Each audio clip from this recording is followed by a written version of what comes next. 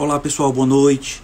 O Diálogo Aberto recebe hoje JP Lima, ele produtor de conteúdo audiovisual. Sejam todos bem-vindos. JP está chegando aqui agora.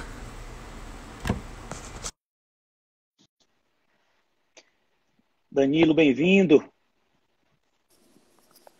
JP Lima, boa noite. E aí, Rodrigo, como é que você está, meu amigo? Tudo ótimo, rapaz. Que prazer grande, viu, receber você aqui no Diálogo Aberto. Rapaz, o prazer é todo meu, você sabe disso, viu? eu, assim, eu particularmente admiro o seu trabalho aí, juntamente aí com meu amigo Danilo. Sim. Né? São dois aí conterrâneos de grande talento. Opa, eu agradeço. O Danilo é meu parceiro de todas as horas, né? O que compra a bronca, eu tenho a ideia, ele dá o jeito dele e, vai para frente e a gente acaba resolvendo realmente. A gente, dó, a gente forma uma boa dupla de trabalho. É, uma boa dupla é exatamente essa, né? Que se complementam, não é, Danilo? Não é, JP? É verdade, o, o, Rodrigo. O Danilo ele tem uma, uma capacidade que eu não tenho. De, ele é muito agregador, entendeu? E eu realmente, né, eu não, não tenho esse poder de agregar. Ah, assim, eu estou aprendendo com ele. Né? Eu, a minha vida inteira eu trabalhei muito só. E a gente está agora com projetos, principalmente, né, que nós vamos discutir, falar mais um pouco, essa questão do cinema e tudo. Então, é um trabalho coletivo. E eu estou realmente aprendendo a trabalhar com coletivo. Ele tem essa habilidade fora do comum, além de ser uma pessoa de extrema é, confiança, é um parceiro, é um irmão que eu tenho. Com certeza. É, JP, para começar aqui a nossa conversa, eu tenho sua biografia aqui, mas eu vou pedir para você se apresentar para o, quem está nos assistindo.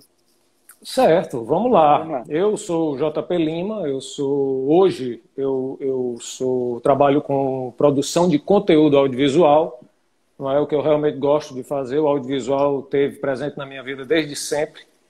Né? Eu sempre gostei de filme, de cinema, enfim, já trabalhei com publicidade. E é muito natural que, eu, que a gente deslanchasse para isso, que a gente realmente enveredasse para esse lado de conteúdo.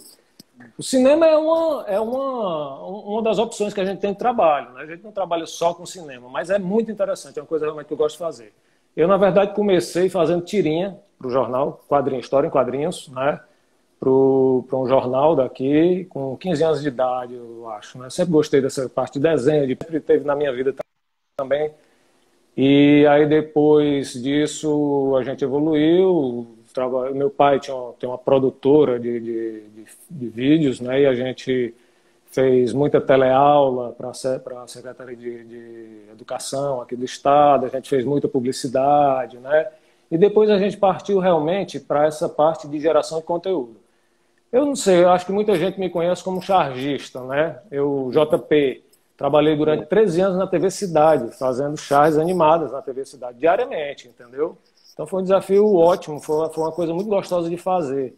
A gente achava que não ia durar seis meses, durou 13 anos a atração. Então foi uma atração realmente muito bem sucedida na televisão. E até hoje as pessoas me perguntam, rapaz, eu assisti o jornal por causa da charge e tal, que é a charge. Eu digo, é, as coisas, a, a coisa anda, né? A gente é, uma porta se fecha, outra abre, e a gente vai seguindo em frente de acordo com, as, com a conjuntura, né, Rodrigo? E assim, aí eu trabalhei na, durante 13 anos como chargista da, da TV Cidade aqui, né, que é a Record, Fortaleza, e trabalhei com, é, durante seis anos fazendo charge animada para a TV Vanguarda do Vale, da, do vale do Paraíba, que é de São Paulo, né, que a primeira é é a, é a emissora do Boni. Inclusive, eu, a, a, história foi muito curiosa. Quando eu, eu, tive a oportunidade de trabalhar com ele, eu sabe, eu digo, rapaz, eu, eu acho que eu tenho condições de levar o trabalho para fora do Ceará. Vamos tentar, né? Então, assim, você, o, o, grande interessado sempre é você pelo seu trabalho, né? Então, assim, não existe promotor melhor do que você. E eu, rapaz, como é que eu vou fazer isso? Né? Eu comecei a pesquisar, eu digo, não, eu quero trabalhar numa, numa, numa, numa emissora da Globo, eu quero fazer isso porque, né? Naquela época tinha muito status, né? E é bom, é uma senhora é, emissora, qualidade, você atrelar o seu trabalho é interessante, ainda mais com o Boni, que já foi todo poderoso. E eu comecei, de como é que eu vou fazer? Aí comecei a testar e-mail. Boni.com, Boni barra vanguarda, Boni não sei o quê, e voltando, voltando, voltando, voltando o e-mail. E teve um que ficou. hum. um que não voltou. Eu digo, peraí, peraí, vamos ver. E ele respondeu. Bom trabalho, foi bem lacônico, mas foi preciso. Bom trabalho. Entre em contato com a minha diretora de jornalismo, Terezinha Almeida. Olha, ah. eu digo, amigo, aí isso para mim foi o ápice da minha carreira como chargista, né? É. Porque você ser, você ser admitido pelo Boni, podia quem quiser falar mal da charge, que para mim não estava não tava mais nem aí. Entendeu? Então foi hum. muito interessante. Então, uma época muito boa da minha vida, isso, isso né, é, eu, eu, lembro com muita saudade. Eu, eu acompanhei bastante as charges e tudo, muito bacana, é, muito legal. E assim, é, JP, e o teu início aí, você foi estimulado é, pela família, né? Assim, pelo teu pai, né? É, é verdade. A influência foi natural, né, Rodrigo? não tenho como não ter é, é, sofrido a influência do meu pai. Sinfrônio, não sei, é, muita gente não sabe que eu sou filho do Sinfrônio. Sinfrônio é esse chargista que, para mim, é o maior do Brasil. Não é porque eu seja filho dele, mas realmente ele é, um, ele é muito bom, porque você pega um cara do Nordeste, né, que trabalha mais de 30 anos com charge, chegar onde ele chegou, assim, de igual para igual com esse pessoal do Sul, fazendo coisa muito melhor do que esses chargistas né, do, do Sul e do Sudeste, que tem mais exposição, não é? E ele chegar onde ele chegou com o talento e perseverança dele. Meu pai é meu ídolo, entendeu? E, assim, é, é quem eu me espelho realmente para correr atrás das coisas. Ele é o meu grande incentivador, ele é o meu grande conselheiro, eu não dou um passo sem, sem trocar uma ideia com ele. E assim, eu realmente sou muito dependente do apoio dele. E ele pensa muito comigo e a gente se entende muito bem, muito bem. Pronto. É, na charge, você foi muito influenciado pelo seu pai. Agora, muito. o cinema, o cinema, quem foi que te influenciou? Mas, por incrível que pareça, ele também, porque ele começou, a gente começou fazendo animação em 3D. Ele é muito bom nisso. A paixão dele é fazer desenhos em 3D, em três dimensões. E ele começou a fazer, ele tem aí, eu acho que uns cinco ou seis já filmes em 3D, e eu entrava sempre com ele como parceiro nisso. Então, assim, são longa-metragens em 3D, né? E assim, aí eu digo, rapaz, vamos, vamos testar uma ficção, porque existe a diferença, né? São termos diferentes. Quando você fala de ficção, você trabalha com ator. E quando você fala com animação, você está trabalhando ou com o 3D ou com a animação tradicional, que é o 2D. E, e eu digo, pai, eu vou tentar. Ele, vamos tentar, tente, que eu acho que dá certo. Aí a gente elaborou um roteiro, e como sempre eu levei lá para o meu amigo, o, o, interessante foi o seguinte, porque isso eu, eu sempre tive essa vontade, despertei para essa, essa questão do filme, né, de fazer uma ficção. E eu escrevi um, eu me lembro que eu escrevi o roteiro, o roteiro dava quase duas horas e meia de filme, enorme o roteiro, né? E você sabe que quanto maior o roteiro, maior o orçamento, né? E para o é. primeiro filme, então, né? Aí eu digo, não, eu vou levar lá para o Danilo. O Danilo eu conheci quando ele trabalhava ainda numa empresa de supermercado, ele era do marketing, isso daí. Eu conheci ele através da minha cunhada, Germana. Eu não sei se ela está aí, mas se tiver, beijinho. Aí, e assim, eu, eu, na época trabalhava com publicidade e eles estavam precisando de uma, de uma campanha, não sei o que era bem, não estou lembrado, e eu, o Danilo que coordenou isso. Então o meu contato com ele foi isso, acho que tem uns 15 anos mais ou menos. E fazia um tempo que eu não vi o Danilo.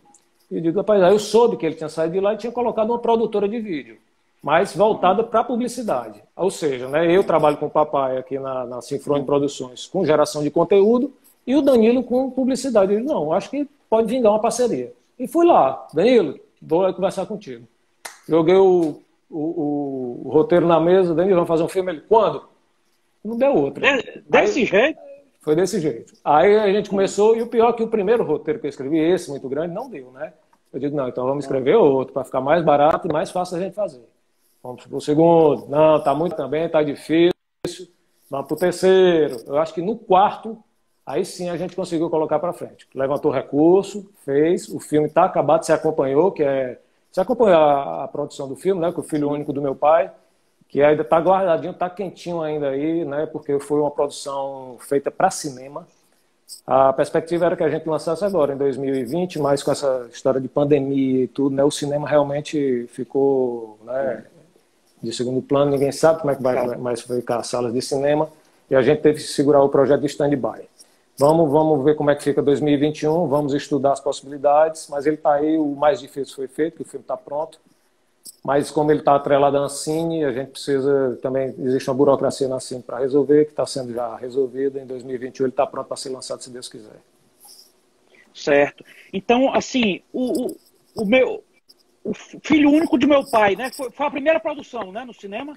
Foi a nossa primeira produção, foi o nosso longa-metragem. Todo mundo dizia, rapaz, vai começar com longa-metragem? Começa com curta-metragem. Ninguém isso começa. Que, isso que eu iria lhe é. perguntar, porque Pronto. geralmente começa por curta, né? Exatamente. Todo mundo, não, rapaz, você tem que começar por um curta-metragem, não sei o que. Eu digo, rapaz, se eu tenho ideia e tenho condições de fazer um longa, por que não?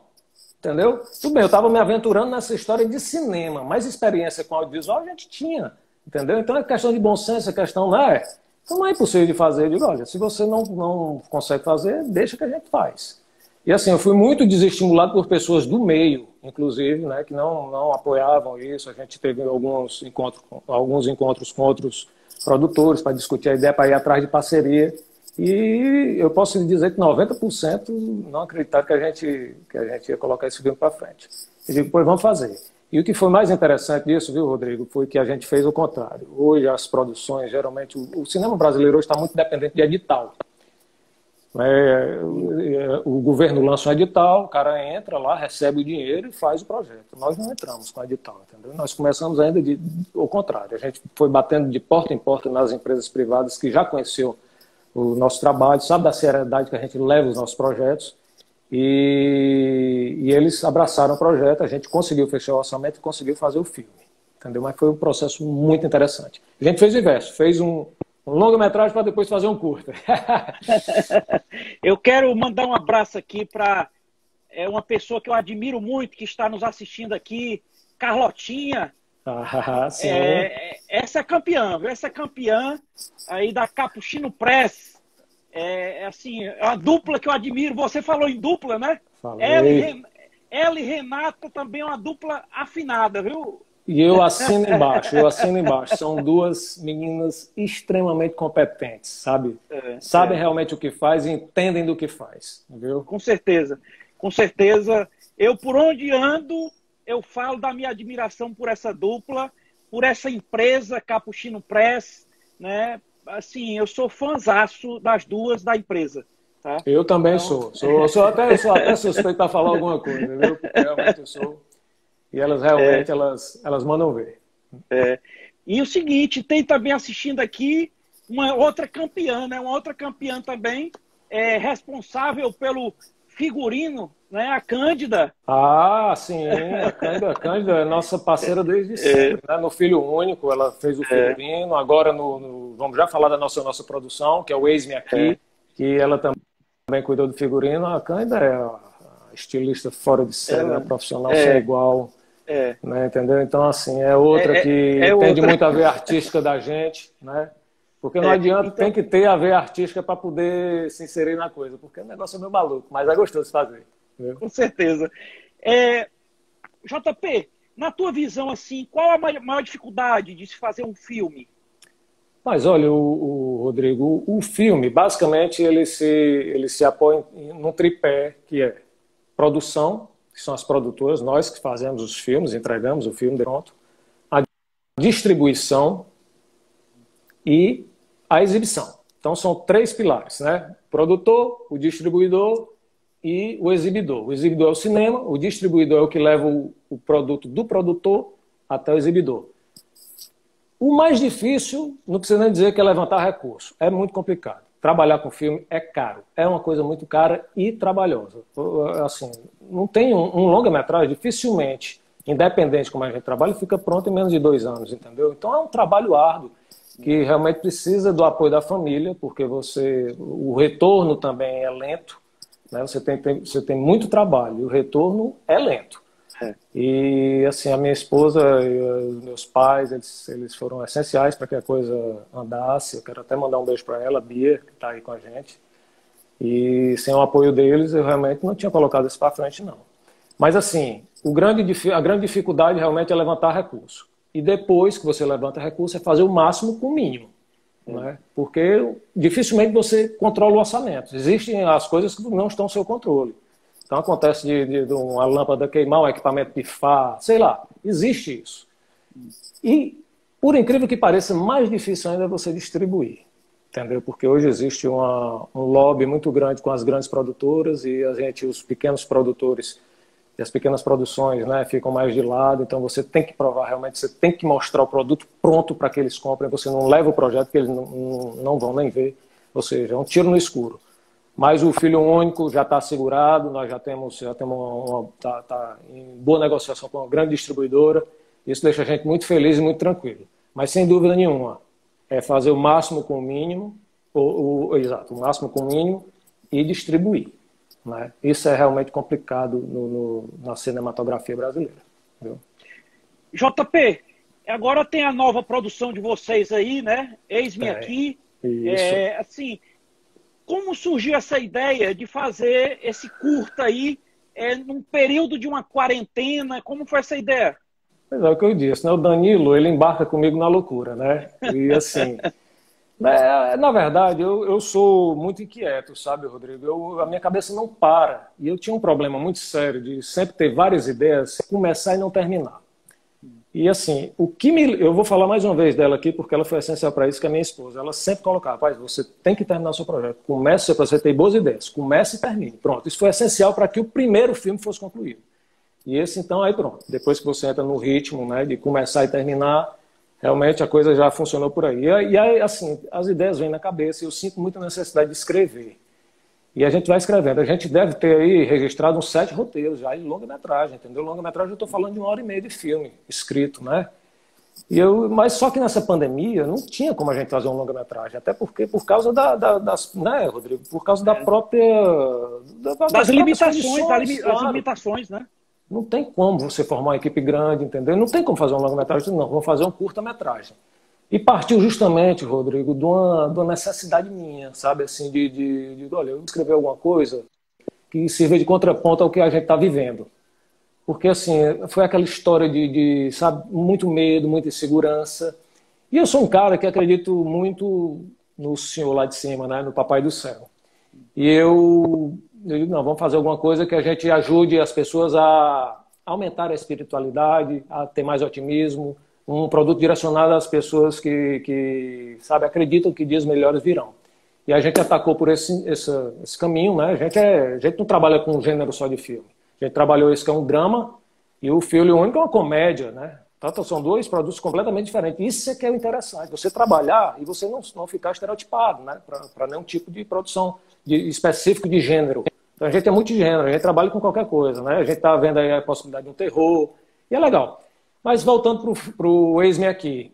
E aí eu escrevi, eu digo, vamos lá, vou, vou ver lá com, com... Inicialmente a gente ia fazer em 3D, né? Porque era bem mais, né? Um computador e você e as pessoas todas afastadas, então era muito conveniente fazer isso em época de pandemia. Mas houve alguns problemas que não realmente a gente não conseguiu colocar para frente, mas o roteiro estava tão interessante, sabe, Rodrigo? Eu digo, não, vamos tentar, vamos deixar. Aí a gente começou, o Danilo começou a fechar a equipe. Eu digo, Danilo, nós vamos precisar disso. Eu, se eu não me engano, foram oito, sete pessoas, para você ver, para fazer um filme, né? E a gente realmente fez e ficou interessantíssimo, ficou, ficou muito bom. Eu, eu, eu acho que ficou bem agradável. Ficou. Rapaz, e aquela cena de ele, o Benjamin conversando com ele ali. É, cuidado com o spoiler, viu? Cuidado com isso. É, na verdade, foi assim, a gente. Eu vou falar mais ou menos aqui a estrutura do. Né, a sinopse rápida. É a história do Benjamin, né, um cara que no, na, no pico da pandemia descobre que contraiu o novo coronavírus, né? E além disso, ele já vem sofrendo com alguns acontecimentos negativos na vida.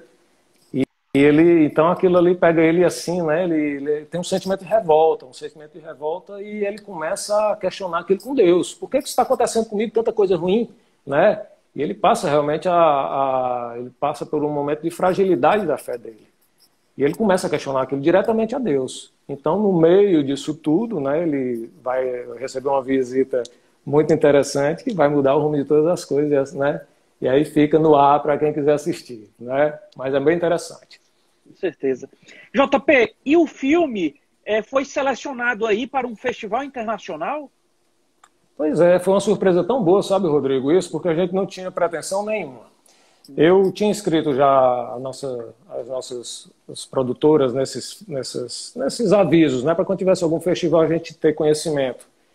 E aí o filme estava sendo acabado, né, e assim, dois dias depois houve essa oportunidade de a gente escrever o filme, sabe? Eu digo, não, vamos, o filme já está acabado, vamos escrever. E ele de imediato foi aceito. Então, para a gente já é um motivo muito orgulho. É um festival, o nome do festival é Lift Off, que é um festival é, promovido pelos estúdios, em parceria com os estúdios da Pinewood, na Califórnia. É muito legal para a gente isso, porque é gratificante, porque a gente atingiu um nível de qualidade né, que está sendo aceita é, mundialmente, e isso é bom. A gente está concorrendo com gente de todo mundo, entendeu? Tem gente da Rússia, gente da Turquia, e por aí vai. Pode imaginar. Mas assim, se a gente vai ganhar alguma coisa, eu não sei. Mas já passamos pelo primeiro filtro, foi a seleção, então para a gente já é uma vitória. Estou muito feliz com isso. E, JP, quem quiser assistir o, o Ex-Me Aqui, como é que deve proceder? O Ex-Me Aqui ele está numa plataforma de vídeo on demand, né? aquela plataforma que você paga e assiste. Você tem a possibilidade de comprar o filme, assistir ele quantas vezes você quiser, e de alugar. Você tem 24 horas para assistir. Ele está numa plataforma internacional que é Vimeo vimeo.com. Então, quem quiser assistir, acessa vimeo.com barra on demand barra eis-me aqui. Vimeo on demand, vimeo.com barra on demand barra eis-me aqui. É muito intuitivo. Vai lá, escolhe o que, qual é a modalidade que quer, se quer comprar, se quer assistir e, e se quer alugar. E é, a gente colocou um valor realmente simbólico da coisa, entendeu? É um dólar para quem quiser alugar e três dólares para quem quiser comprar. Então foi uma coisa realmente bem democrática para que as pessoas realmente tenham acesso. Está lá disponível é... lá. A única plataforma disponível é essa, por enquanto. J, JP, e o, e o filho o filho único do meu pai, né? Hum. É, fala um pouco aí também a sinopse dele, como é a história dele. Falo, falo. O filho único do meu pai, na verdade, e, e eu participo como ator do filme, o que é interessante, né? Sempre gostei muito disso, né? E assim, houve essa... na verdade, eu não tinha nem planejado isso mas a gente tinha, ia fazer um teste de equipamento e o, a pessoa que a gente estava vislumbrando para ser o Lucas, que é um dos protagonistas, ele não pôde comparecer. E eu tinha um roteiro na cabeça, porque o roteiro eu escrevi. E a gente já estava com tudo armado e tudo. Não, vai, aí o Danilo, não, cara, tu vai fazer, tu faz lá. Vamos fazer aqui para a gente testar o equipamento. Só que ficou interessante, entendeu? E ele, não, tu vai fazer, tu vai fazer o filme, tu vai fazer o filme, ficou bom, ficou bom, deu legal, deu legal. Eu digo, pronto, tudo bem, agora eu tenho que conversar com o pessoal lá de casa, né? E eu conversei com a minha esposa e pronto, deu, deu legal, o filme ficou bem interessante. E o interessante, que eu esqueci de falar, que quem protagoniza o Ex-Me aqui é o nosso amigo, querido amigo, o, o Serra. Iroldo Serra é um ator espetacular, é um cara que tem o meu respeito, é um, é, uma, é um sujeito, é um grande profissional, é um sujeito extraordinário como pessoa e é um cara ótimo de se trabalhar. E ele faz qualquer papel. Ele é um, ele é um ator realmente pronto para o que deve é. Ele fez esse drama com a gente, que é o Ex-Me Aqui, que é todo ele, ele fez, foi dois em um. Né? Ele fez duas personalidades, eu vou deixar aqui no ar. E ele realmente encarou a, a, a, a tarefa, encarou o desafio e fez assim, realmente fez a diferença.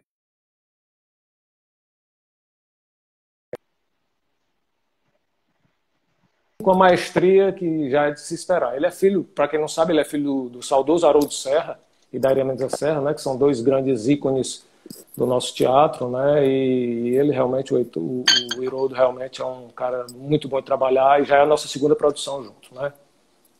E, o e assim, é uma comédia, né? Hum. Totalmente diferente do aqui. O Filho do Meu Pai é uma comédia e ficou bem interessante. Trilha sonora muito legal, do Daniel Groove, da Mel Matos, as músicas. Esse eu não dirigi, isso foi uma co-direção. Eu tive a, o nosso diretor de set foi o Dado Fernandes, que também fez com muita dedicação. E a gente dividiu a responsabilidade do filme. ele conduziu muito bem as filmagens no set. E o filme está aí, está prontinho aí na primeira oportunidade para a gente jogar no ar. Certo. E qual é a previsão dele mesmo entrar no ar? Tu, tu imagina? Olha, eu, eu, não sei como é que vai ficar isso, sabe, Rodrigo? Tão, é. Então, assim, você vê as grandes produções que tem, sabe, essas produções multimilionárias, todo tempo adiando, adiando, adiando. James Bond, cara. James Bond foi, que é uma mega hiperprodução, uma franquia, né? Que é só encostar que dá dinheiro. Foi adiado com quase um ano, para quase um ano, entendeu? Então, assim, quando eles chegarem, eles vão, eles vão lotar a sala de cinema e assim, a gente não sabe como é que vai ficar. Mas é isso que eu estou dizendo. Hoje, você não está mais dependendo do cinema. Vocês têm as plataformas de streaming. Hoje há uma possibilidade de lançar logo direto no streaming, entendeu, Rodrigo? Não estou é. descartando essa possibilidade. A gente tem, tem, que ver com a distribuidora, porque ela que vai definir o futuro do filme, né? o que for mais interessante em termos de retorno, porque houve um investimento e o cinema é uma indústria, né? Você não faz isso por prazer, claro que eu faço por prazer, mas tem que dar retorno, tem que justificar. Nós temos parceiros e eu quero que eles tenham retorno nisso, né, com isso. Então não funciona assim, só funciona se a coisa realmente dá retorno para quem entrou com a gente. Mas está lá, 2021 espero que seja lançado. JP, a Irani Barreira está dizendo que vai para a Califórnia com você receber o prêmio. Ah, essa daí é minha sogra, é minha segunda mãe, viu? Família toda aí dando apoio, Oi. né? Ela é ótima, é. minha sogra é outra que me dá um, todo o suporte que eu preciso. E a, pronto. E JP, a, a Karine Barreira está dizendo que está ansiosa para ver na telona. Karine, Karine Barreira, minha cunhada. um beijo para ela, ela é ótima, é minha parceirona de sempre, viu? Também. As pessoas são.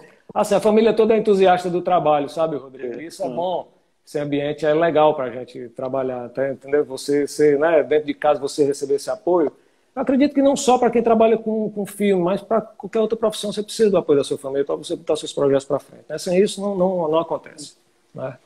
JP, agora uma curiosidade. É, você é parente da Cíntia? Eu sou irmão dela desde quando eu nasci.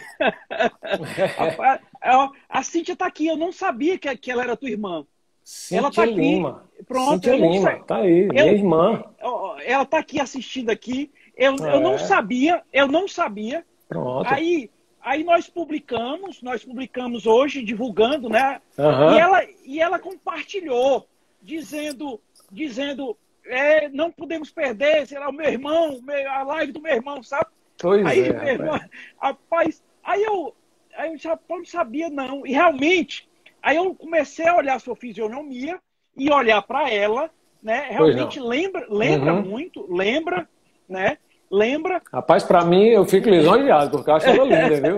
ela é, ela é. Mas é claro que ela é mais bonita, né? Ela é mais é, bonita. Claro, né? Acho que eu tenho o branco nos olhos, é bem parecido. Viu? É, e coincidentemente, coincidentemente, né? É, nós fizemos uma live aqui dias atrás com o diretor de programação do Sistema Verde Mar de Comunicação, Fábio Ambrosio. Sim, né? Fábio Ambrosio. Pronto. Uhum. É, e o Fábio, depois aqui da, depois da live, aí a gente se falou, e ele disse, Rodrigo, eu gostei bastante e eu quero lhe indicar três pessoas para você fazer, que você vai gostar muito.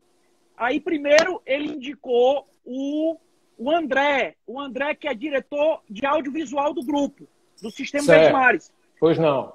E, e nós fizemos o convite ao André e fizemos a live com o André.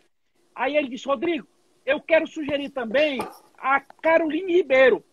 Sim, eu acompanhei pronto, ontem. Pronto. Acompanhei ontem. Aí, anteontem, anteontem. Foi é, anteontem, perdão, foi, anteontem, pronto. perdão.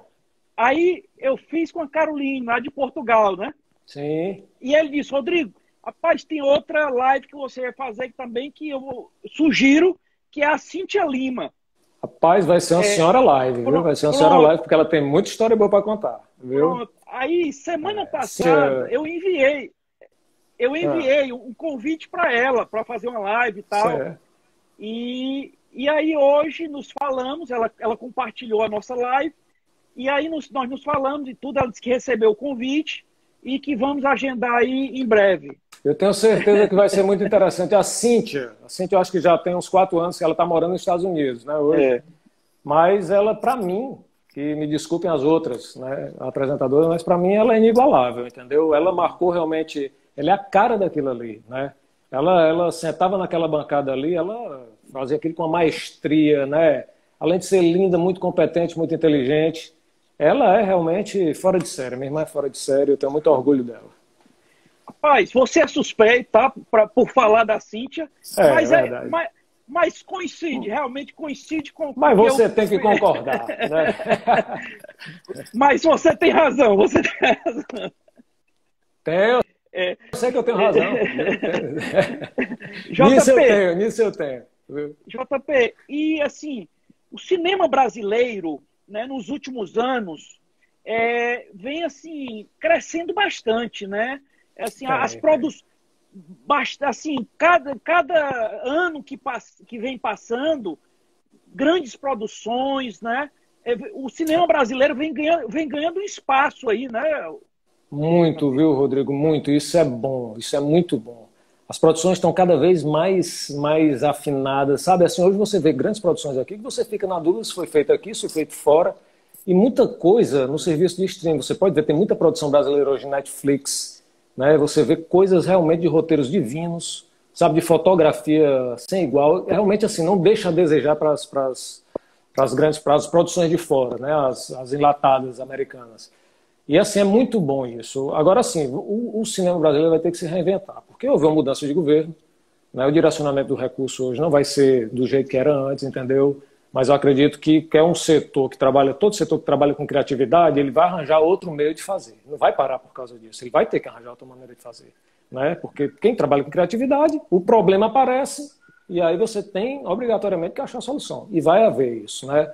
A gente vinha num ritmo muito bom, deu uma parada agora, porque não, não tem mais edital, é aquele que eu tinha dito, né? que o cinema hoje está muito dependente de edital, e isso pode ser uma boa oportunidade. Esse, esse problema de não lançar mais edital pode ser uma boa oportunidade de transformar realmente a indústria em indústria de cinema.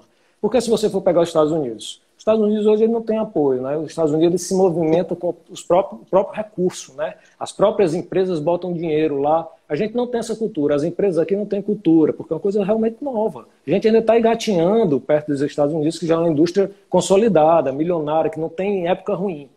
E aqui é diferente, né? Mas assim, é uma boa oportunidade da gente quebrar essas amarras que a gente tem com verba, com dinheiro público, né? Que é muito bom, isso facilita muito a vida da gente, mas ninguém vai deixar de produzir por causa disso, né, Rodrigo? Então, assim, eu acho uma boa oportunidade da gente criar outros mecanismos e a gente correr atrás da grana para poder fazer, né? Mas, sem dúvida nenhuma, nós temos grandes profissionais que não ficam atrás de nenhum outro fora. É um orgulho para a gente. Principalmente Ceará. Ceará tem muita gente boa. JP, a Cintia Lima tá mandando uma mensagem aqui dizendo que a família se garante, viu? É, rapaz, olha aí, viu?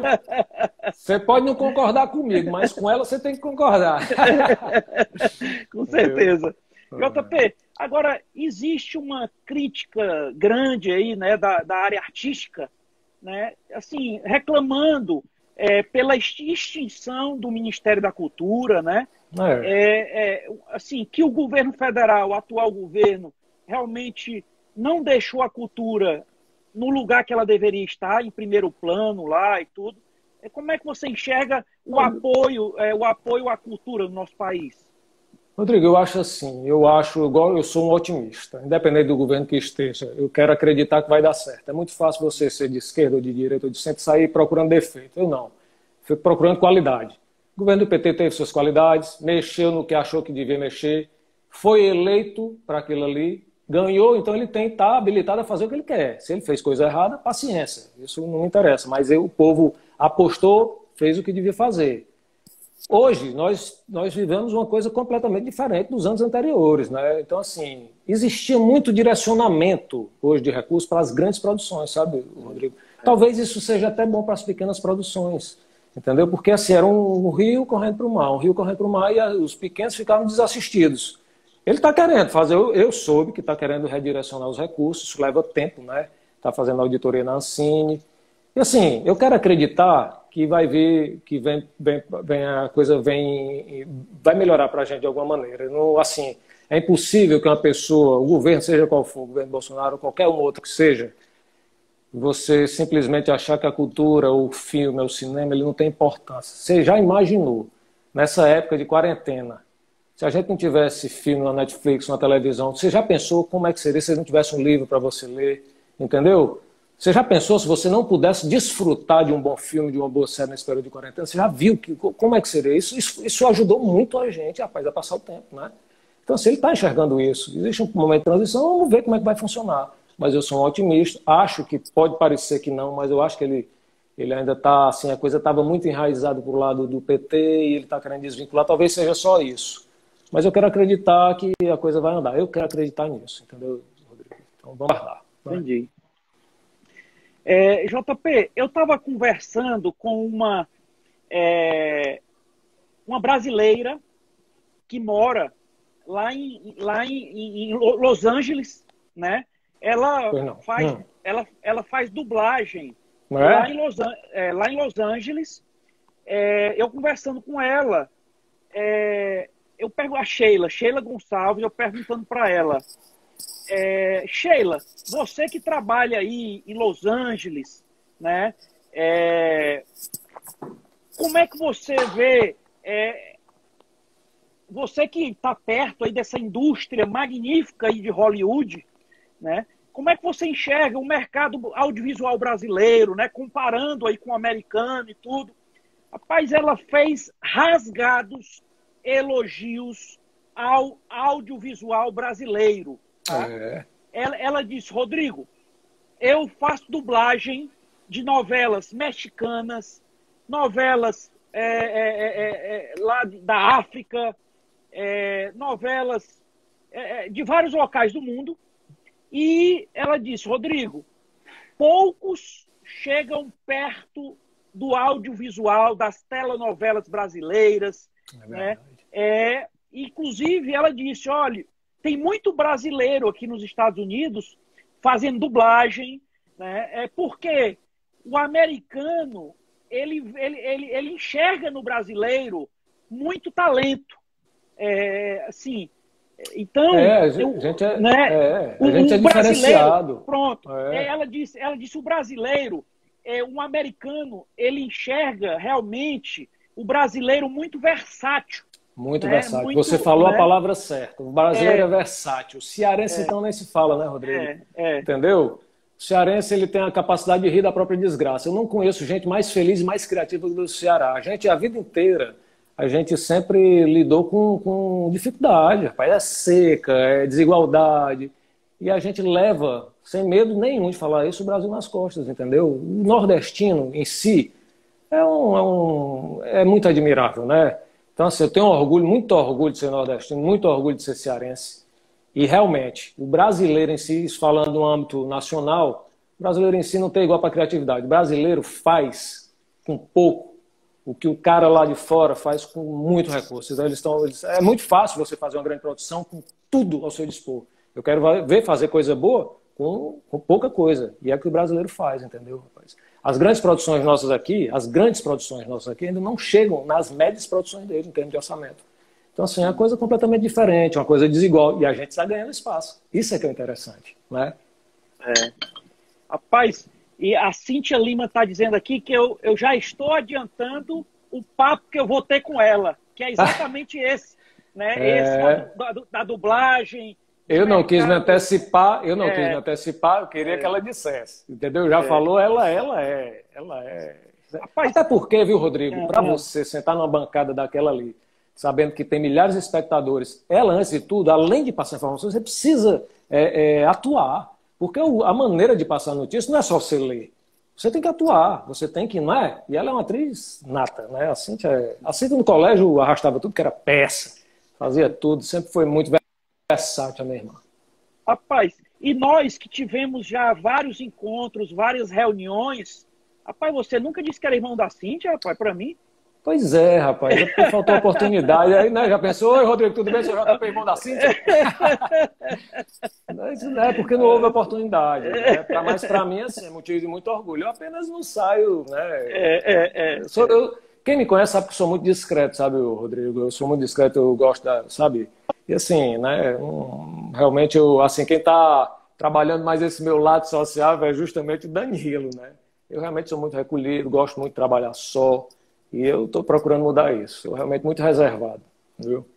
JP, e assim, JP, e quais os projetos, né, os próximos filmes, é, assim, como é que você pode dizer com relação ao futuro aí? Pois é, assim, a, a, grande coisa hoje, viu, Rodrigo, é assim, porque você fazer um filme, você precisa de aglomeração. Invariavelmente você vai ter que ter gente.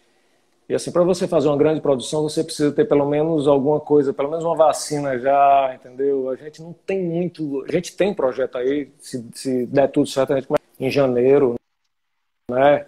É um projeto que foi contemplado pelo mecenato, a lei do mecenato, que é uma lei estadual né, de isenção fiscal. A empresa que paga ICMS, ela, ela tira, né, ela, em vez de pagar o ICMS, ela coloca no, no filme o dinheiro e aquilo ali é batido como se ela tivesse pago. Né? Então, ou seja, o governo está abrindo mão do ICMS para apoiar a cultura, que foi muito interessante.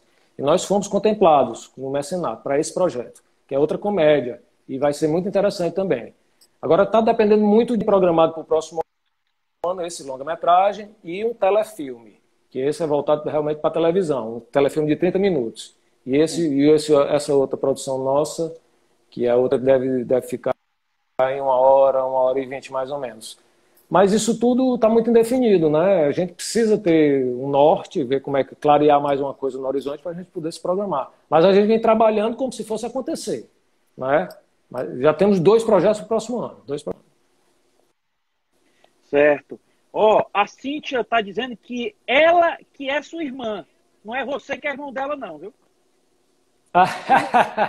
Olha aí. Olha aí. Uma graça. Essa Cíntia. É ela e, é ela muito... tá, e, e ela está dizendo que já viu os filmes maravilhosos e, é, e, e, e assim, é engraçadíssimo, né? E muito, muito talento. Pois é, assim, ela, ela é uma pessoa, ela assim, não é porque ela seja minha irmã que ela não vai, ela diz quando tá bom, quando né? Então eu levo em consideração muito, como meu pai, minha mãe, minha mãe principalmente, minha mãe é meu porto seguro, entendeu? Então assim, ela, ela é a minha grande instora, a gente conversa e eles sentam realmente para me aconselhar, não tá legal isso, não tá legal aquilo. Então é uma opinião, não é uma opinião qualquer. Ela tá de, é uma opinião é, de ela tá gente tá dizendo, que... João, João, João sempre fez a gente rir. É, João, para quem não sabe, meu nome é João Paulo, né? O nome artístico é JP. Né? E em casa todo mundo João, todo mundo me chama de João. Eu, tava... É. eu já ia lhe perguntar quem é o João. É, sou eu, viu? João Paulo. E é, é, assim, eu sempre gostei muito, até porque, viu, Rodrigo, a charge é uma, é uma conotação muito grande do, do, humor, né? A charge é uma coisa, assim, não, você não tem como passar. A charge, justamente, a essência da charge é o humor. É você passar a notícia através do humor, que é muito legal. Então, assim, a gente trabalhou, a gente tem experiência com humor e eu tenho realmente uma afinidade muito grande com, com humor e eu gosto de trabalhar com isso. É um desafio, não é fácil trabalhar, as pessoas acham que é, mas não é, porque o time é muito sutil, entendeu? Um corte dois segundos antes, um corte dois segundos depois, faz toda a diferença pode perder ou não graça por causa do tempo, entendeu? Do jeito de falar. Então isso é muito sutil, mas eu gosto de, desse desafio. É uma coisa que eu me sinto bem em fazer, sabe? E as pessoas que têm, né, a, a nossa equipe que trabalhou no Filho Único, ficou muito satisfeita com o resultado. E são os do meio, são críticos, vão lá para criticar, é fogo amigo. Então, mas realmente passou pelo nosso controle de qualidade. Certo. E ela, assim, se é... ela estivesse aqui comigo, se ela estivesse aqui, em, em, no Brasil, provavelmente ela estava participando de algum projeto, né? Mas não dá, para fazer dessa ponte aérea aqui não dá. Miami, Rapaz, Fortaleza, agora ei, principalmente. Ei, ei, com ela no projeto, o patrocínio ia ficar mais caro, viu? Ia, rapaz, o orçamento ia disparar. Viu? Ela ia ter que dividir em prestações, né? Para poder pagar. Viu? Ia ter que fazer um crediário, mas dá um jeito, é. viu? Pois é, aí, e, e, e assim, ela, a, a, família, é, isso é bom, a gente trabalha numa família de, de, gente criativa, a gente gosta de desafio, né, a gente tem a, como referência o, o, pai da gente, que é um, já falei aqui, que é a nossa fonte de inspiração, que é o Sinfrônio, e ele é o, é um cara, o cara mais criativo e mais inteligente que eu conheço, sem sombra, meu, sem sombra de dúvida. E também tem o, o meu filho, né, o Pique, filho de sete anos, que fica louco quando vê essas coisas. O vovô Sinfônio fez essa animação, papai. Aí você fez outro filme, eu quero participar. E já colocou um canal no, no, no YouTube, que é o Davi Barreira, é, Davi Pimer. E ele é, gosta dessa coisa, fala dos animes, entendeu? E assim, eu não quero muito é, influenciar agora, porque é uma coisa, né, Rodrigo, tão incerta, sabe? A gente sofre tanto com tanta coisa, com crítica, até você né, começar a pegar um pouquinho de nome. E assim, eu quero resguardar mais ele, eu quero, quero que ele. É uma brincadeira que pode, né? Por enquanto eu quero que ele brinque. Ele realmente está aficionado pela coisa, né? É o Davizão, Davi Barreira. Mandar, mandar um abraço aqui pro meu amigo Leandro Albuquerque. Um abraço, meu amigo Leandro. É, o, o, JP, eu, eu acompanhei, né, acompanhei uma matéria no jornal Globo falando de um longa, um longa que foi feito na quarentena por vídeo. Como é que você faz um longa na quarentena por vídeo? É, assim, dá para você faz, né, o Rodrigo? Assim, tem um longa-metragem que é um curta-metragem de, de, de 30 minutos para baixo, é considerado um, um curta-metragem.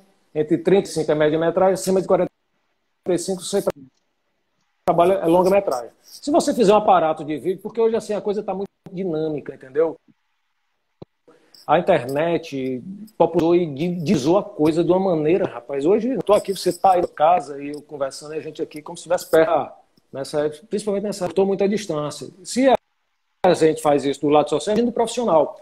Então as pessoas filmam também, não com a mesma qualidade cinematográfica, mas se você tiver um bom enredo, uma boa história, que eu acho que isso é o que conta, porque muita gente às vezes, ah, não, não sei o quê, principalmente, você tem que abrir mais essa, essa, a cabeça para isso. Você tem que entender que uma boa história é melhor do que uma, uma, uma coisa. Se você souber contar a história, não importa qual o recurso que você tem para fazer. Se for um celular, se for uma câmera, entendeu? Não interessa. O importante é você botar, colocar ideia. Muita gente fez relatos de quarentena, né? não tem uma estrutura de um filme, é mais a coisa de depoimento dos que eu tenho acompanhado. Eu posso estar enganado. A Netflix, por por exemplo, sou agora um, um, um, conglomerado de um conjunto de curtas que somando deu um longa, entendeu? Então assim, ela tem artistas famosos, ela trabalha com grandes nomes e cada qual viu a sua fez a da quarentena. Ficou bem interessante, entendeu? Tinha gente trabalhando assim de uma forma bem amadora, tinha outros bem mais profissionais. Mas isso é que é interessante do cinema, isso é que é interessante do audiovisual. Você não, não pode pegar e simplesmente amarrar a coisa numa estrutura. Né? Você tem que dar liberdade e as pessoas estão vendo o celular é a prova disso. Você, e, e, você fazer conteúdo pequeno hoje é interessante também, porque você assiste logo direto no celular. Um filme, você assistir um filme né, muito grande no celular, você não consegue muito tempo. Mas coisinha curta, né? Um, um Ex-me aqui, por exemplo, já pensou? É excelente para assistir, né? é, é, JP, assim, na quarentena e tiveram é, vários artistas, né, grandes profissionais, produtores, que se reinventaram aí nessa quarentena, né? Como vocês fizeram esse curto aí maravilhoso, né? É, amanhã, JP, amanhã nós vamos obrigado, receber obrigado. aqui. Valeu. Amanhã nós vamos receber aqui, JP, na, na live. Ele deu uma cortada aqui. Voltou? Você está me vendo? Está me ouvindo? Voltou, JP? Deu uma cortada aí. Tá me ouvindo? Tá me ouvindo?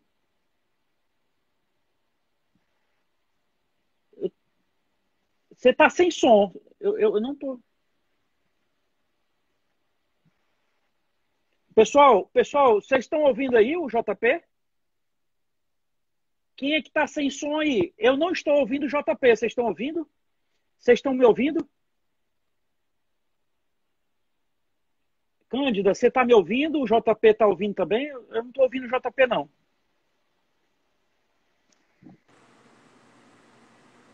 Peraí, ó.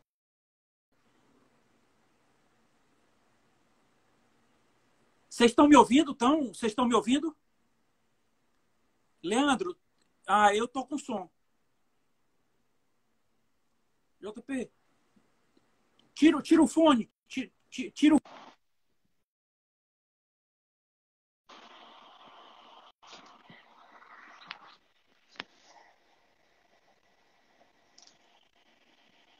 Nada?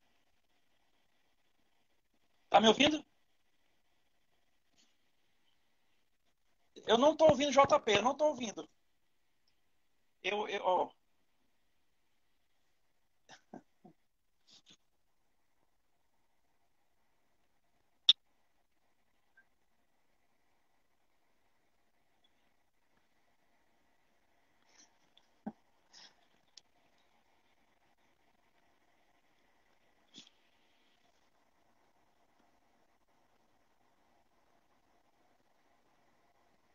Não.